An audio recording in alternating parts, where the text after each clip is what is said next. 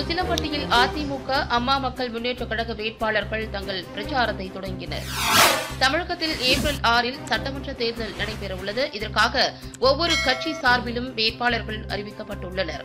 மதுரை மாவட்டம் உசிலம்பட்டியில் அதிமுக வேட்பாளர் ஐயப்பன் உசிலம்பட்டி முன்னாள் சட்டமன்ற உறுப்பினர் நீதிபதியின் இல்லத்திற்கு சென்று வெற்றி வாழ்த்து பெற்றார். பின்னர் கட்சிக்கு துரோகம் செய்தால் அம்மா வந்து அழித்து விடுவார்கள் ஆனால் ஐயப்பன் நிற்கவில்லை அம்மா நிற்கிறார்கள் வெற்றி பெறுவார் என உசிலம்பட்டி முன்னாள் எம்எல்ஏ நீதிபதி வாழ்த்தினார்.